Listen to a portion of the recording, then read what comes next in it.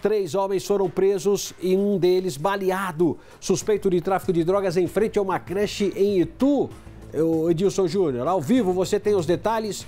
11 horas 54 minutos, bom dia. Bom dia, Barazal. Bom dia a você de casa que acompanha o primeiro Impacto Regional. É isso mesmo, esta ocorrência foi no fim de semana na Vila São Paulo, em Itu.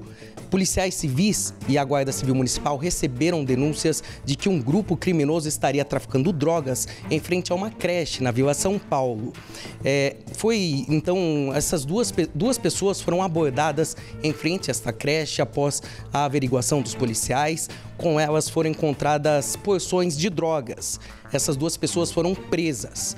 Também dentro da creche é, policiais civis e também a Guarda Civil Municipal entraram no interior deste prédio, desta creche, que estava desativada no horário, já era noite. Lá, duas pessoas foram encontradas também é, guardando drogas dentro da creche para servir ali de repositores desta, desta dupla que estava na parte de fora. Os policiais e a Guarda Civil Municipal flagraram eles, houve troca de tiros, esses dois criminosos estavam tentando fugir do local no momento da abordagem, eles já estavam no telhado, inclusive houve essa troca de tiros, uma pessoa foi atingida, um dos criminosos foi atingido, ele caiu deste telhado, foi socorrido pelas próprias equipes da Guarda Civil Municipal e da Polícia Civil, foi encaminhada a um hospital dito é, sob escolta dos policiais e também da Guarda Civil Municipal. Então ele também foi preso.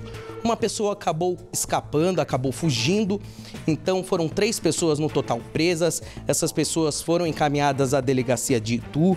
É, com elas foram apreendidas no total 48 porções de cocaína, 11 de maconha e 100, é, 125 reais em dinheiro. Os criminosos eles vão responder por tráfico de drogas e associação para o tráfico.